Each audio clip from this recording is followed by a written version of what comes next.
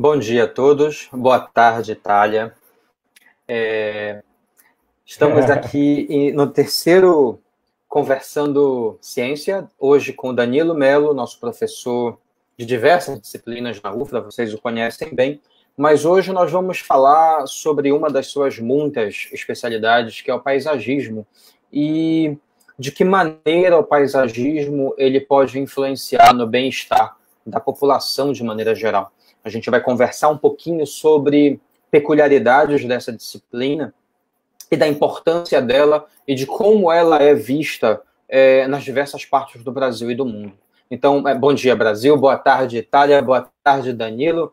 É, Danilo, eu queria que tu falasses um pouquinho de ti, um pouquinho sobre paisagismo, e em seguida já fala para a gente sobre a importância do paisagismo para a sociedade. Certo, gente, bom dia a todos. É prazer estar com, com o Breno aqui conversando. É, bom, eu sou engenheiro agrônomo, é, formado pela UFA, Belém. Né? É, fiz mestrado e doutorado na Unesp, em Jaboticabal. É, no mestrado e doutorado trabalhei com hortaliças. Né? Então, é, o paisagismo ele entrou assim, na, na, minha carreira, na minha vida, quando eu voltei para a UFA como professor. É, tinha trabalhei a graduação inteira, né, pós-graduação com hortaliças e uh, ao voltar para a UFA como professor, me deparei uh, com a disciplina de floricultura e paisagismo. E aí, né, estudando e tal, me preparando, eu, assim, me apaixonei de novo pela área, né, porque eu gostava muito dela na graduação. E aí eu comecei a perceber, né, que o paisagismo, ele é muito mais do que só estética, né? Ele é ciência, ele é estudo do comportamento humano, ele é conservação ambiental, educação ambiental, né? Então, é, foi isso que o paisagismo é, proporcionou, é, mais uma vez na minha carreira, essa redescoberta, né? E hoje é uma das linhas é, de pesquisa, de atuação que eu tenho me dedicado na UFRA e tenho uns projetos. Inclusive, eu, eu tenho um projeto hoje é, de pesquisa que engloba é, hortaliças e paisagismo, e daqui a pouco eu posso contar uma experiência aqui que eu tenho vivido aqui na, na Itália sobre o uso de hortaliças né, no paisagismo. E, e hoje é uma das da, dos carros-chefes aí da, da minha carreira. Então, assim, importância, né? Qual a importância do paisagismo? O que ele vai é, atribuir na qualidade de vida da cidade, das pessoas? Então, é, assim, nas, nas aulas, né, a, a, primeira aula, quando eu tenho com, na disciplina de paisagismo, eu já começo a aula mostrando para os alunos duas fotos. Então, eu mostro uma foto de uma cidade completamente conturbada, cinza, feia, né, cheia de lixo e tal. E aí eu pergunto para os alunos, olha, essas olha essa foto. O que, que vocês sentem quando vocês olham essa foto? Aí eles falam ah, dor de cabeça, poluição, cansaço, estresse né? Aí logo em seguida eu mostro outra foto, que é uma paisagem natural, um parque com lago, com flores e plantas e tal. E aí eu pergunto, e agora, o que, que vocês sentem? Ah, relaxamento, bem-estar, qualidade de vida, saúde, né? Então, assim, já sim, visualmente você já consegue identificar o que, que o paisagismo traz para a qualidade de vida, né? Então, o paisagismo é capaz de proporcionar uhum. é, uma melhor qualidade de vida física, né, uma saúde mental, física, é, emocional, e pode é, melhorar muito o seu dia a dia.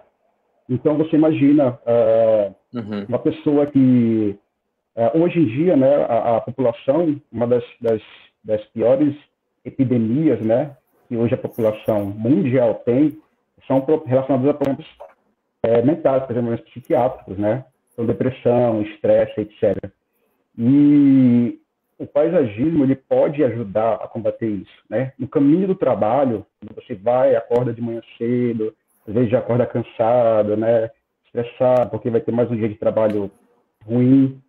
E no caminho para o trabalho, é, você recebe muitos estímulos, né? até você chegar no escritório, na escola, na universidade. Você recebe muitos estímulos visuais, sensoriais, né? E esses estímulos podem ser bons ou ruins. Então, se você recebe estímulos bons, você vai ter uma, né, um dia melhor, você vai ter uma boa produtividade, você vai conseguir estudar melhor. Se você recebe estímulos ruins, seu dia vai ser péssimo. Né? Então, no caminho do trabalho, você vai uhum. recebendo esses estímulos. E o paisagismo entra aí, né, para te ajudar. Você recebe estímulos, conforto térmico, você recebe proporcionado pelas árvores, uhum. você recebe estímulos é, olfativos, né, quando você sente o perfume das flores, você recebe é, vários uhum. estímulos, o som dos pássaros que é atraído pelas, pelas plantas, né. Então, o paisagismo ele ajuda nisso aí, né. Fora também outros, uhum. outros benefícios que, ele, que, ele, que o paisagismo agrega na qualidade de vida, né. Diminui a poluição atmosférica, é, diminui, diminui o ruído proporcionado pelos carros, pelo barulho do dia da cidade. Ele vem o perfume das flores, né, o canto dos pássaros que é atraído, as cores, né, as cores, ela, assim, tem vários estímulos que muitas pessoas podem não perceber assim, de forma tão clara, mas, é, por exemplo, as cores, as cores que a cidade tem, que as plantas têm, elas podem te causar diferentes sensações, dependendo das cores. Então, por exemplo, é, cores frias, que é o verde escuro, o verde mais claro, o azulzinho mais escuro, ele, ele dependendo da, da, das plantas que têm essas cores, elas vão te, elas vão te proporcionar é, mais relaxamento, mais tranquilidade. E quando você é, se depara com uma vegetação que tem muitas flores, amarelo, é, rosa, vermelha, né? Elas te proporcionam mais agitação, mais euforia. Então, é, uhum. todos os estímulos eles ajudam né, a, a, a, nosso equilíbrio emocional, né? Além do, do equilíbrio físico, né, da saúde física, que é o controle da poluição, o controle do ruído, por aí vai. Né? É. É, outra, outra questão também que é importante colocar, se o paisagismo, ele, quando a gente fala em paisagismo, a gente, a gente pensa muito assim, em jardim, né, em plantas uh, plantas ornamentais, né? arborição, plantas ornamentais. Mas tem um jardim funcional também que é muito utilizado como terapia ocupacional. Então, uma forma de você é, se utilizar do paisagismo, né, da, da jardinagem, da horticultura, para é, é, como terapia ocupacional, né? Se, por exemplo, nessa, nessa pandemia, nessa quarentena, muito, vi muitas reportagens é, de pessoas que tinham hortas em casa, né? Então começaram a plantar hortaliças, e isso também agrega é na saúde mental, né? principalmente nesse período de quarentena. Então, Danilo.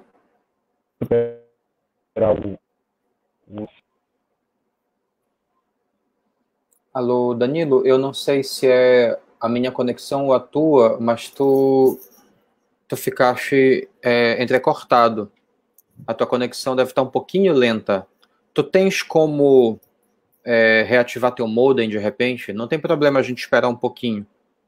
O finalzinho ficou bem entrecortado. Danilo? Oi, Danilo.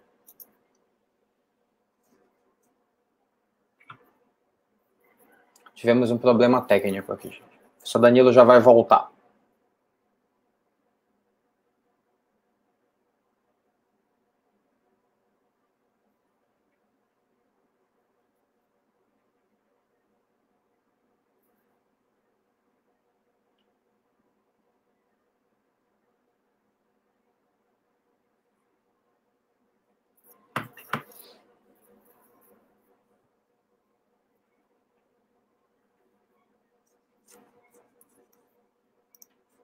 É, lembrando que vocês podem fazer perguntas a qualquer momento durante a, a nosso, o nosso bate-papo. É, essas perguntas elas aparecem aqui ao vivo para a gente, a gente pode comentar a respeito é, do, do que vocês quiserem, que vocês perguntarem para a gente. Só aguardar para o seu Danilo. Oi. Tá oi, Danilo, melhorou bastante agora, desculpa. Muito bem. É, tu estavas falando, eu estava ouvindo entrecortado no final, mas não tem problema. Imagina como se a gente ah. estivesse assim numa, com um café muito forte, estivesse falando rápido demais, só que isso é o contrário. É? Um café fraco. É. é, deixa eu te falar. É, tu estavas falando sobre é, esse finalzinho da tua, da tua fala, teceste algumas correlações com o Covid, com a pandemia, é, me uhum. fez lembrar um trabalho que eu utilizei na disciplina de comportamento animal no final do ano passado, que ele tratava, uhum. inclusive na China, ele tratava, é, era um estudo experimental, de observação, porém experimental, é, em dois ambientes em uma mesma cidade. Um ambiente que havia sido pouco ou minimamente planejado, ou seja, era extremamente cinza, e um outro ambiente que era extremamente planejado, que era uma periferia urbana no entorno de um parque ambiental. Uhum. E é engraçado, porque eu lembrei disso agora por dois motivos. O primeiro motivo, ele obviamente diz respeito à minha, à minha especialidade, que é o comportamento animal, e ele mostrava diferenças de comportamento no estudo em aves, né? É, no comportamento referente à, à, fuga. A velocidade ao gatilho e velocidade de, de fuga que as aves teriam, apresentariam para possíveis predadores. E em ambientes mais cinzas, mais com menos paisagismo, menos planejamento verde, essas aves elas pareciam estar o tempo inteiro escabriadas, assim, o tempo inteiro elas queriam fugir é, a, a, mínima aproximação de uma pessoa ou de qualquer coisa, parecia que o comportamento delas era, era assim, o tempo inteiro de fuga. E elas aproveitavam o mínimo tempo possível para se alimentar nessas áreas. Enquanto que nas áreas mais verdes, mais próximas do parque, é, essas aves elas tinham um comportamento de, de gatilho para fugir dos possíveis predadores um pouquinho mais. É, não é que ele fosse lento, não é que elas fossem mais abobalhadas, é que elas tinham mais tempo de aproveitamento da área até que o, o, o predador se aproximasse a uma distância X e elas pudessem fugir. E é, o que é legal desse estudo é que ele utilizava, obviamente, de preceitos de comportamento animal, de comparações né, estatísticas em tipo de, mesmo tipo de comportamento em diferentes áreas. Ele se utilizava de biologia da paisagem e se utilizava de conhecimento de paisagismo. E uma outra coisa que me fez pensar, na verdade, me fez é, é, é, refletir um pouquinho da tua fala, quando tu começaste a falar sobre a pandemia, a gente não pode esquecer que a pandemia é um reflexo da falta de, de planejamento é, urbano. Eu não digo assim, não é somente ela, várias coisas que nós estamos vivendo agora. A gente acabou de ter aí essa, esse anúncio da, da praga de gafanhotos que está invadindo o Brasil pelo sul, nós já passamos por isso anteriormente. Em 2007, o, o arquipélago do Marajó também teve uma grande invasão de gafanhotos que atrapalhou todo, toda a produção, toda a lavoura por lá. E agora a gente está vivendo isso, provavelmente vai viver em alguns dias de maneira nacional. E tudo isso advém de, de um desequilíbrio ambiental que muitas vezes ele é ele é uma falta de planejamento é, dos centros urbanos, né, de como a gente vai é, ampliar a nossa cidade, como a gente vai planejar as nossas cidades. Eu queria que tu falasses, é, com base nesse gatilho que eu acabei de te dizer, um pouquinho da importância do paisagismo nesse âmbito, assim, do planejamento dos centros urbanos, de que maneira os centros urbanos podem se tornar é, ambientes mais agradáveis e menos agradáveis é, devido a, ao seu melhor planejamento ou mesmo a falta de planejamento. Certo. Breno, assim, o paisagismo, o mundo, ele tem uma história muito, muito complexa, sabe? E acredito que ainda está, ainda a gente ainda vai avançar muito em relação a isso. Então, assim, o que, que, o, que, que o paisagismo traz, né? Ele traz a reaproximação do homem com a natureza. Então, o homem ele não nasceu para viver em cidade. Ele nasceu nômade e foi construindo cidades ao longo da sua história.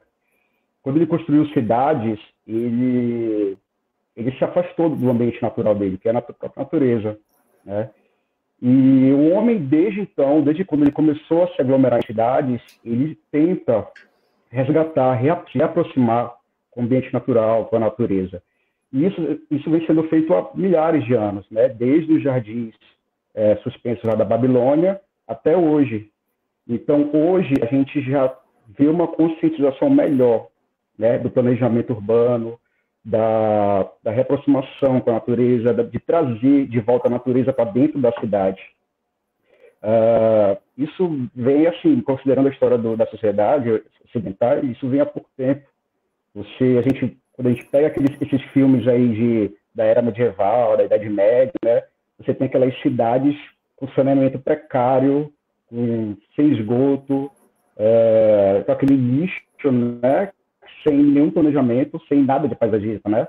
Aí você vê os jardins só dentro ali dos castelos, e mais tarde os jardins só em torno dos palácios, e fora disso, a sociedade não tinha é, acesso né, a, aos jardins, a, ao paisagismo em si. Isso só veio, essa preocupação, ela só começou, basicamente, ali perto da Revolução Industrial, na verdade, com a Revolução Industrial na Inglaterra, então, a Revolução Industrial ela veio é, com as indústrias no centro das cidades e causando poluição. E isso fez com que as pessoas adoecessem.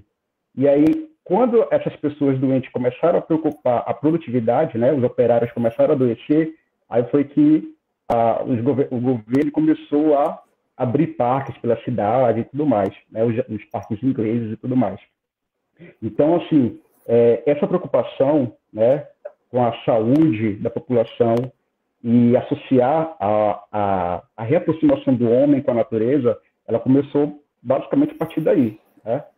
E hoje a gente tem uma abertura, é, preocupação maior, ainda não é, não é, ainda não é boa. Né? A gente vê hoje muitas cidades, muitos centros urbanos ainda com, com problemas de é, organizar a arborização da cidade, de é, abrir parques e tudo mais por falta de planejamento. Então, uh, algumas cidades, né, para você ver, Belém, Belém é, recentemente inaugurou o Parque do Itinga, e tem principalmente um objetivo ambiental, né, de educação ambiental. Então, isso aí já é um grande avanço. Agora, a, as cidades, né, o planejamento das cidades, principalmente as cidades é, que ainda que já, que vão ser planejadas, elas precisam é, já agregar o paisagismo nessa, nessa, nessa na, na, construção dessas cidades, né? formar passeios mais largos, é, planejar todas as áreas, interligar as bairros e centros urbanos com áreas verdes. Isso é uma tendência é, em muitas cidades já pelo mundo, né? fazer os parques lineares. Então, é, que é usar os rios né, para interligar as áreas da cidade e colocar passeios, meios de transportes é, nessas áreas verdes. Inclusive, é, voltando de novo ao, ao Covid, né? O, a pandemia, uhum. ela também tem, tem, tem, tem feito uh, se repensar os meios de transporte nas grandes cidades. Então, como hoje é, o, o, o, distanciamento social ele está muito, né? Ele, ele precisa ser realizado.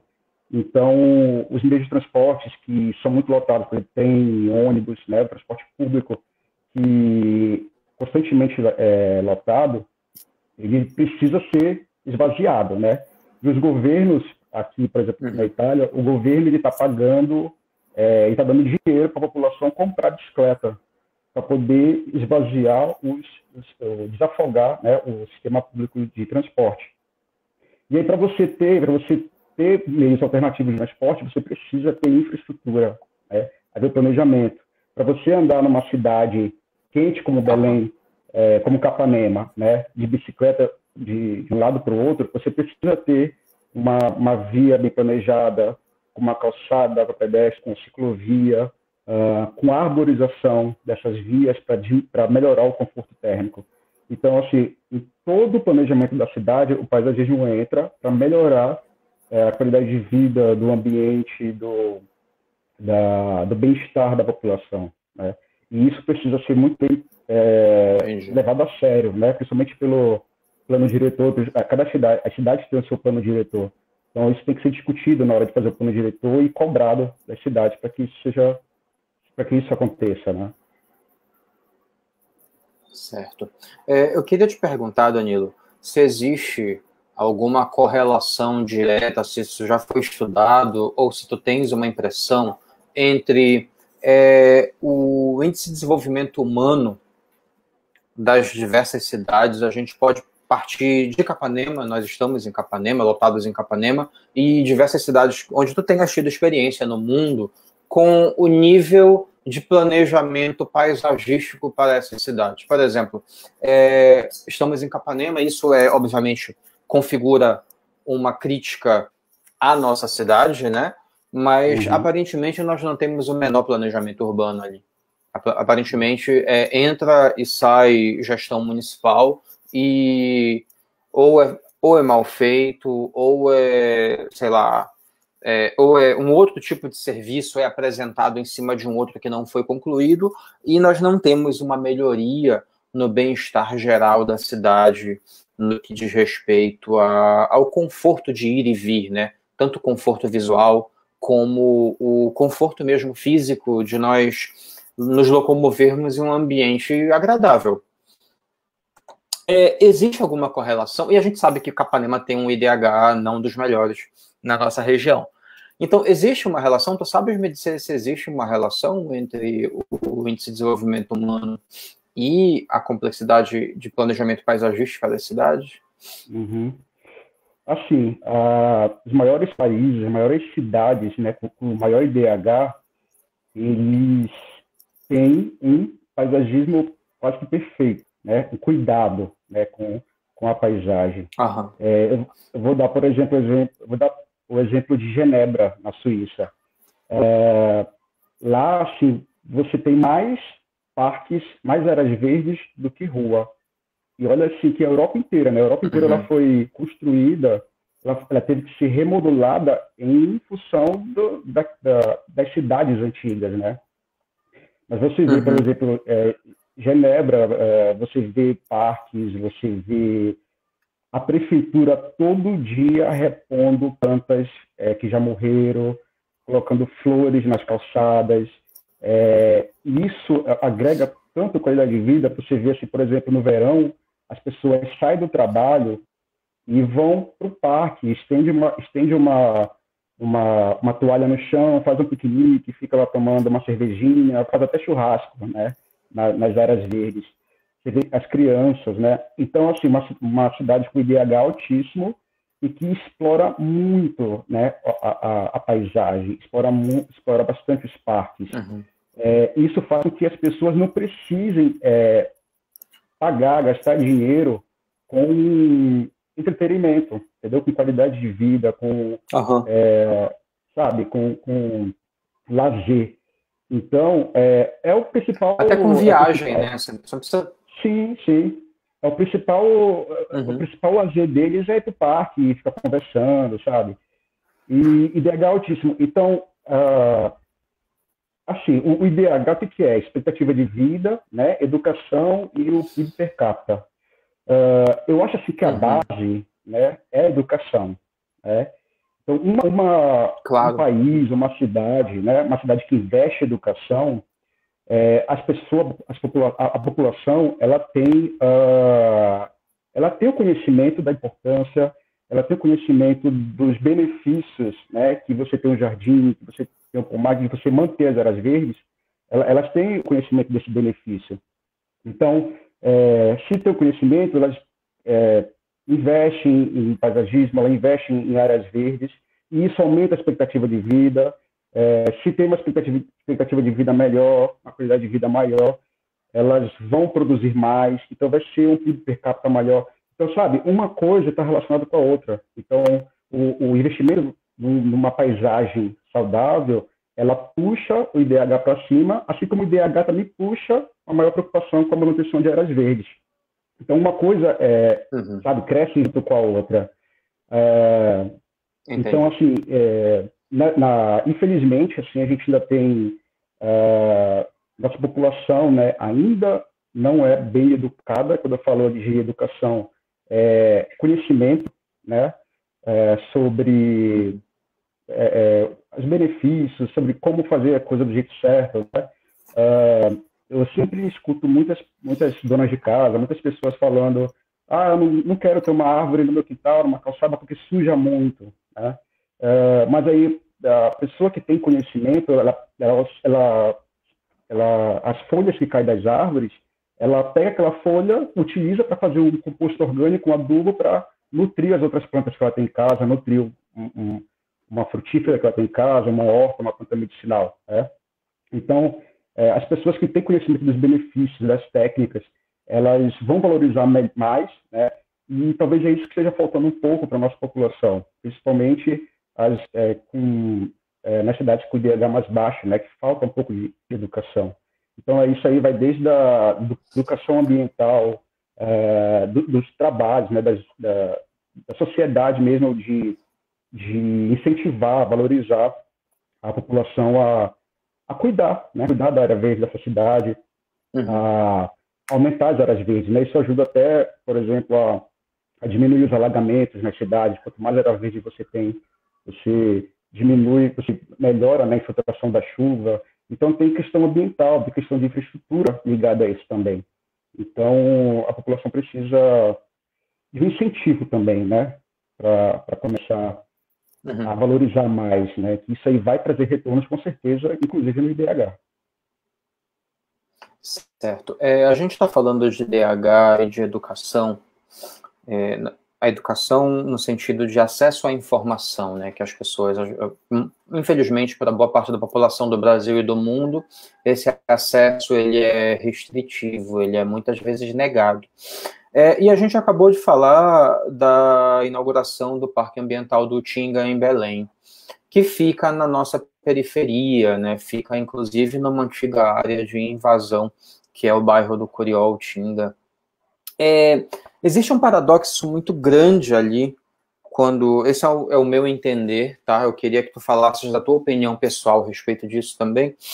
Existe um paradoxo muito grande ali, que é uma área bonita, é, gratuita, o acesso é gratuito, o acesso é livre para qualquer pessoa é, que queira entrar, obviamente sem carro. O estacionamento é pago, mas o, o acesso é gratuito e que fica numa das áreas mais pobres de Belém. Eu, antes de a gente ficar em casa, assim, direto, eu era um frequentador relativamente assíduo do parque com a minha família. Nós íamos sempre aos finais de semana passear com crianças. E o que a gente vê ali é que, bom, a minha percepção é que as pessoas com menos poder aquisitivo, elas raramente entram no parque e a gente vê pessoas que se deslocam do centro da cidade, de áreas mais é, valorizadas, pessoas com mais dinheiro, com mais acesso à informação e aos benefícios dessa informação, é que estão é, utilizando daquele espaço. É, não existe um paradoxo. Eu queria que tu falasses a respeito disso.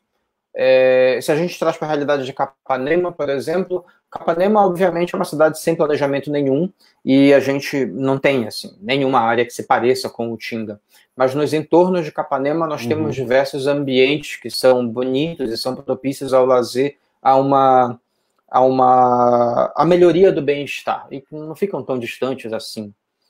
É, tem diversas áreas. Eu não quero falar o nome porque muitas dessas áreas elas são particulares e a gente não está aqui para fazer merchandising para ninguém. É, mas a gente vê pouco acesso da população a esses ambientes também. Será que não tem uhum. alguma coisa a ver assim com essa o, o, a limitação do acesso à informação não faz com que a pessoa deixe de usufruir de algo? Porque vamos lá, o Tinga antigamente não existia enquanto parque com acesso irrestrito à população e as pessoas elas, elas sempre entraram ali de maneira ilegal para fazer o que quer que elas fossem fazer, uhum. para caçar, para passear, para fazer outras coisas. E ainda hoje, é, a população continua fazendo isso, né? Eles continuam entrando de maneira ilegal lá, ainda que seja completamente livre a entrada. Eu queria que tu falasses um pouco sobre esse paradoxo, sobre essa, sei lá, nem sei se eu, me, se eu fiquei claro, se a minha percepção ficou clara, mas eu vejo um eu paradoxo aí. Eu acho assim, o Parque do Tinga, assim, eu vou, vou falar uma frase assim que eu já ouvi muita gente falar, né?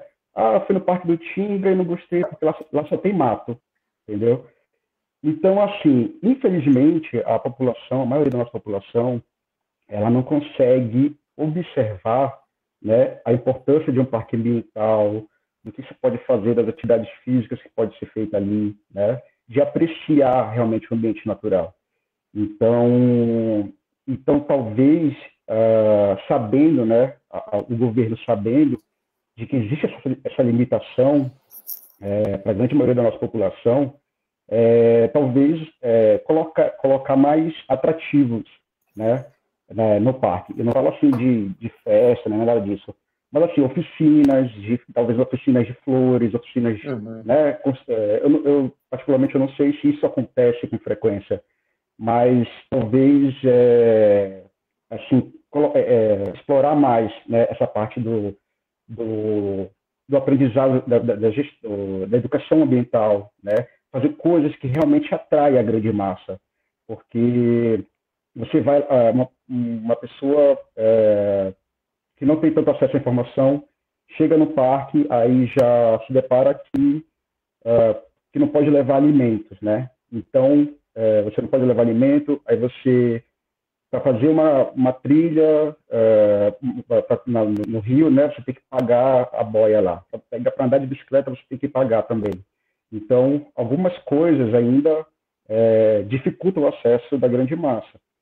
Mas é, acho que o, o, o a, a, solução é na base, né? Na educação de base, é, é preparar essa nova garotada aí para ter mais consciência ambiental, né? Consciência da, da, dos valores que você reaproximar o homem da natureza é, pode agregar na qualidade de vida. E aí sim você pode abrir a sua cabeça para as oportunidades que um parque ali pode proporcionar para o teu bem-estar. E Capanema, uhum. né? Você, você falou de é... Capanema também. Isso é, é interessante colocar é, essa questão de Capanema, né? Dos grandes, é, os interiores em geral do, do Pará, né? É, a maioria uhum. da, das cidades, ela, das cidades do interior do Pará, elas têm refúgios muito perto dos centros urbanos, né? Então as pessoas elas conhecem um, um balneário, um sítio, uma fazenda, que serve de, de refúgio né, pro, pro, do, da aglomeração, do dia a dia, do estresse do dia a dia. Então, talvez a, a, a valorização do padrinho nesses centros urbanos ela não é tão evidente, né? porque a, a pessoa tem muito perto esse refúgio é, verde, uhum. né? Mas no dia a dia da cidade, a gente sabe que a gente precisa, né? O nosso maior exemplo é a UFRA, quando você sai ali da, da, da Barão, né? Ali no final da Barão de Capanema, que tem, que acaba ali a pista dupla, para você chegar na UFRA, você, você é uma dificuldade gigantesca, tanto de infraestrtura quanto de, de, de, de sombreamento, né? Não tem sombra, não tem calçada, é, uma, é, uma, é um caminho totalmente feio que estressa os alunos, tem alagamento, né?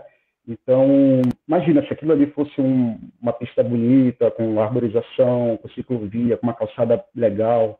Então, assim, os alunos iam chegar muito iluminação. mais...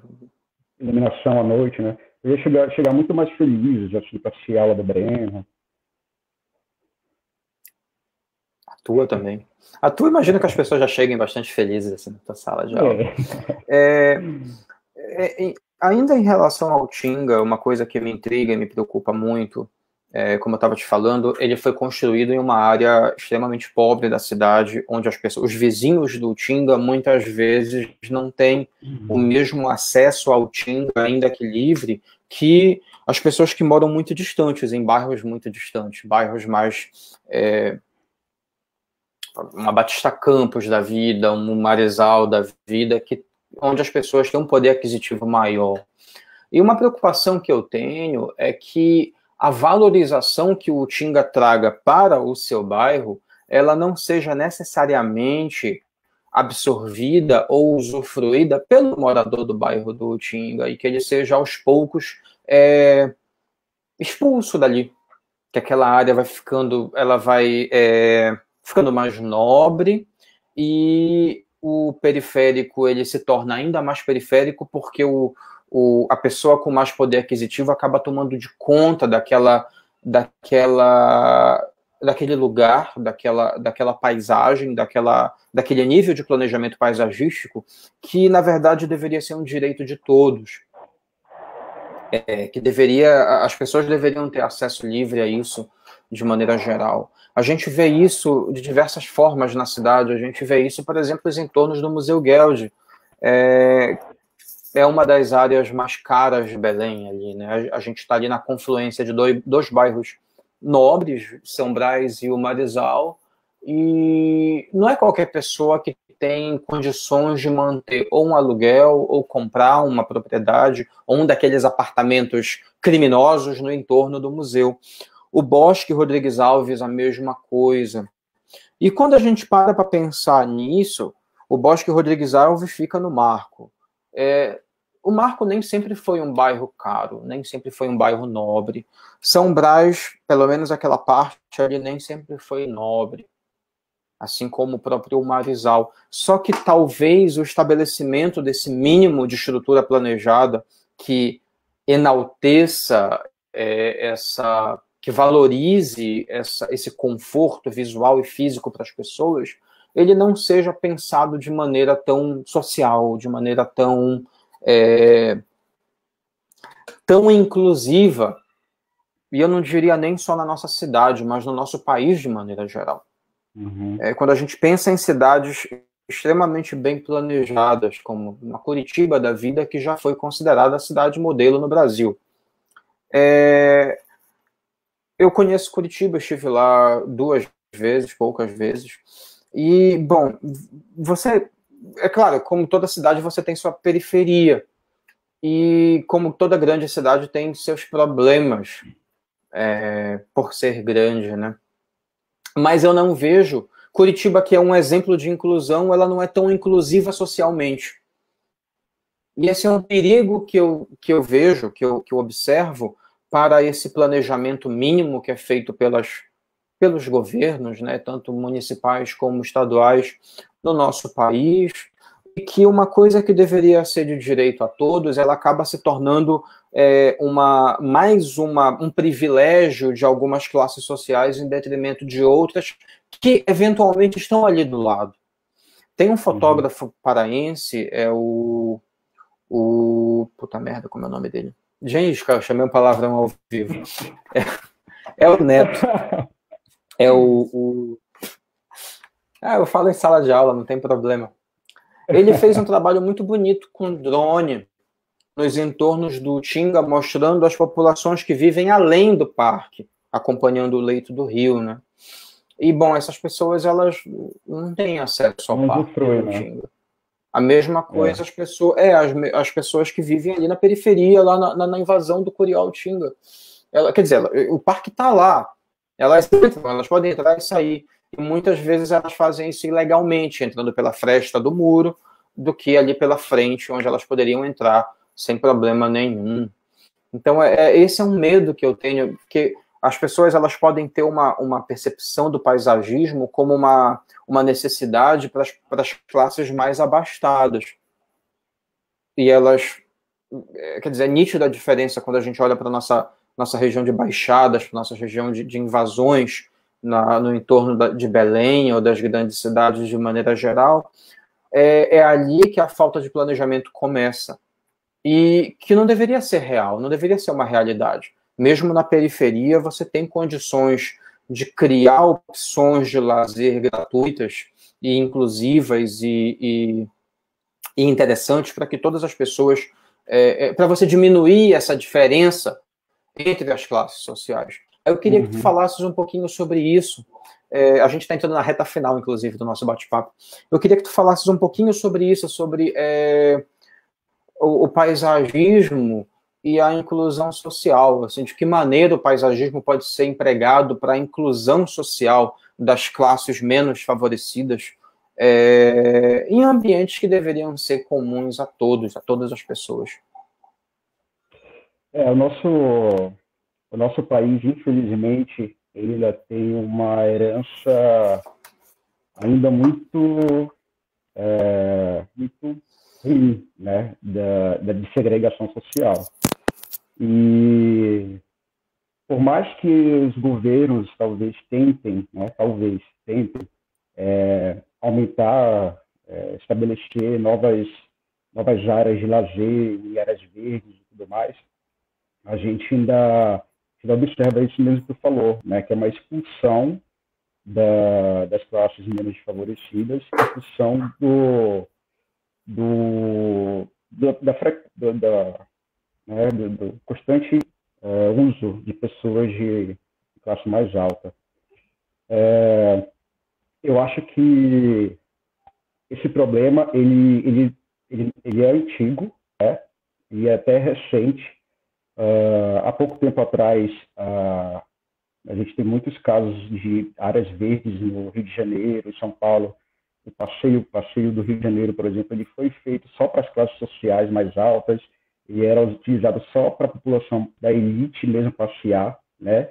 E o pobre, ele se vê, quando ele tenta acessar esses, esses ambientes, ele se vê constrangido, né? Por vários fatores, né?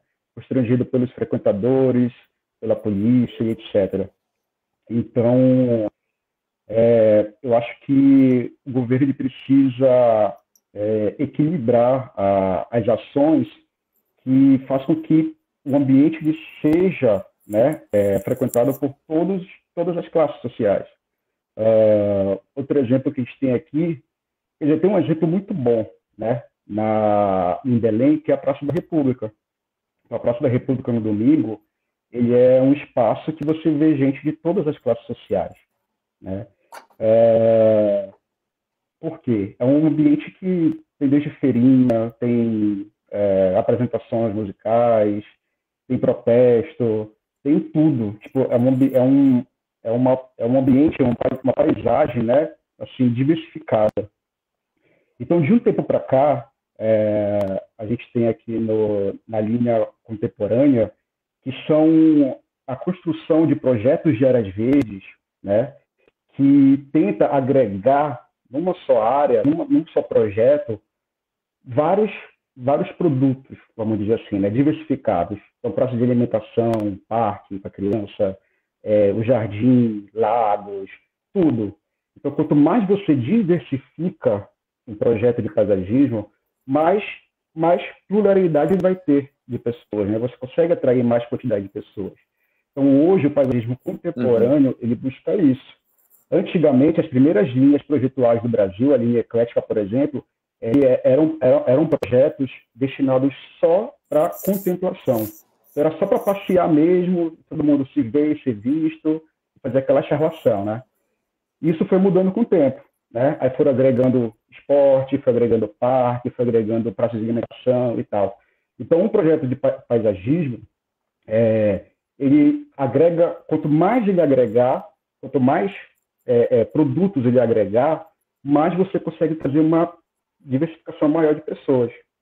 É, a, a, em Belém, por exemplo, está acontecendo aí a, a consulta, né? Ou, já aconteceu, se não me engano, acho que já, já, já fechou a consulta para saber é, como que seria, né? Qual, qual, qual, o que, que a população queria ali naquela área que é o, o aeroclube, né, o aeroclube lá em Belém, ali uhum. vai ser construído um Sim. parque, ali vai ser construído um parque. Aí teve uma consulta, eu participei dessa consulta, aí eles perguntavam lá, o que, que você queria? Você quer um lago, você quer é, um, um ginásio, você quer um anfiteatro? Então a população tem o poder de escolher, né? Todos os as prefeituras municipais, elas têm feito, municipais, é, estaduais, elas têm feito, feito consultas públicas para você decidir o que você quer numa, num, num, projeto de paisagismo, num parque, numa área verde. Então, assim, quanto mais você integrar a população para decidir o que eles querem né, no, num projeto, mais você agrega todas as classes sociais. Certo. Um, bom, nós estamos entrando aqui na reta final, faltam poucos minutos para a gente terminar o nosso bate-papo, eu queria que tu terminasses é, falando das tuas é, perspectivas para o paisagismo é, no Brasil, mas especificamente no Nordeste paraense, que é onde nós estamos lotados, né? e de que maneira cada um de nós, como ator social, sejam professores, estudantes é, da universidade ou mesmo é, cidadãos é, da, da, atores da sociedade civil de maneira geral, de que maneira a gente pode contribuir para esse planejamento urbano do ponto de vista da melhoria da paisagem, do, do, do, do aspecto paisagístico da nossa cidade. Uhum. Eu acho que a primeira parte, primeira, primeira fator aí, né, o que, que a gente pode fazer?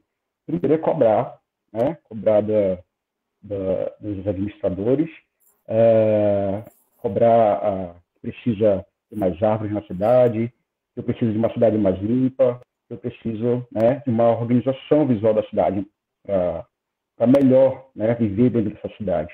Por mais que Capanema ou outros municípios do interior estejam muito próximos de refúgios verdes, mas você passa a semana inteira, a maior parte do tempo da sua vida, da semana, dentro da cidade. Né? E você sente a diferença, você sente o calor, você sente a poluição, você sente o barulho, e você precisa de um ambiente saudável. Né?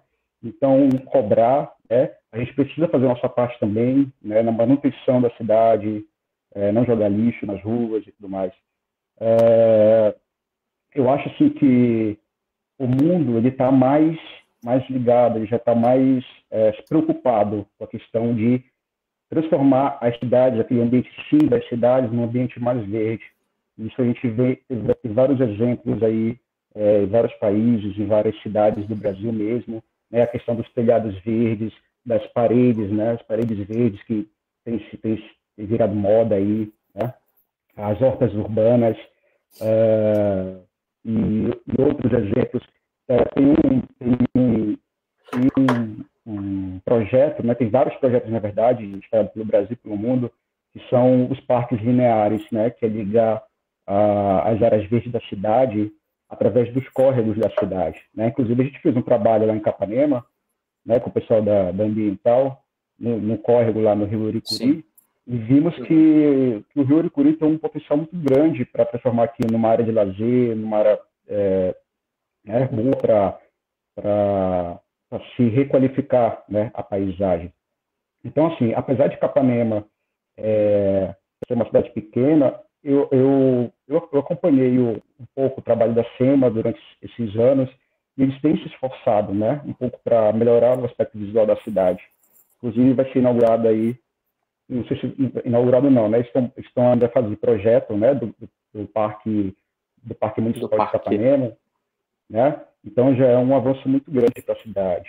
Então, mas assim, acho que uhum. começar da educação, educação povo, educação ambiental, mostrar os benefícios que é a requalificação da paisagem, mostrar todos os benefícios, aquilo que eu, aquilo que eu falei no início, né, da questão de saúde, da questão mental, né, mostrar todos esses benefícios, fazer com que eles tenham é, essa conscientização e cobrar, né, cobrar da administração para que a cidade ela se torne mais é, gostosa de se viver, né? mais ambientalmente saudável.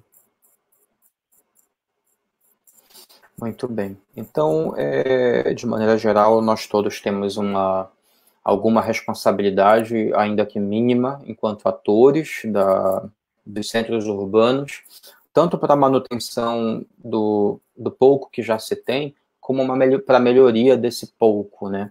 E isso começa com melhorias na nossa educação e para que a gente tenha essa percepção do mundo diferenciada, a fim de que essa essa visão de melhoria na paisagem ela não fique restrita a um mínimo de pessoas, mas que ela se torne uma uma característica, um bem comum para que todas as pessoas possam usufruir e que esse seja uhum. um dos muitos passos que nós precisamos para diminuir esse desnível entre as classes sociais. Né?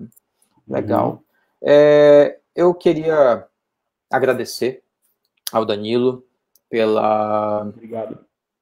Pelo, é, por aceitar o convite desse bate-papo, né? É, queria te pedir ainda que não volte, porque tá pegando o negócio aqui, mano. Fica por aí mesmo, que tá feio o negócio aqui. Aqui agora, mais do que nunca, a gente deve ficar em casa. Então, voltar para cá é batata. Chegar aqui, é. tu vais pegar o coronga porque as pessoas estão fora de casa precocemente. E agradecer a estrutura da UFRA e a presença de todos vocês, a audiência de todos vocês que estão nos acompanhando nesse terceiro Conversando Ciência.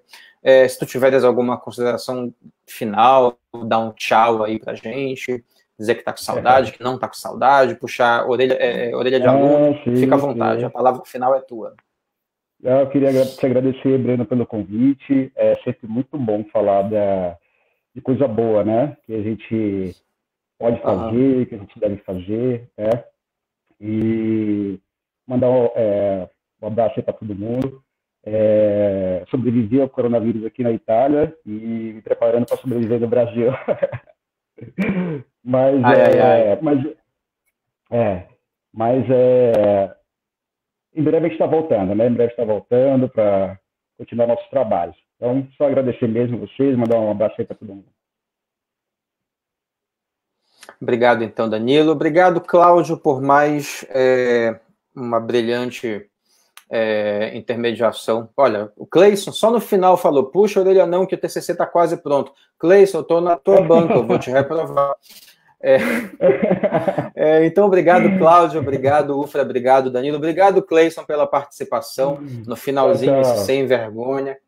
É, tchau, tchau. Até a próxima semana que vem estaremos com o professor Julian Naranjo, da Universidade do Vale da Colômbia, para falar de gerenciamento ambiental é, ele vai ter é, é, comparações entre a Colômbia e o Brasil, ele tem uma experiência amazônica e vai falar dessas comparações entre as políticas públicas de gerenciamento ambiental tecidas no Brasil e tecidas na Colômbia, tá bom? Então, tchau, até semana que vem, gente. Tchau, tchau.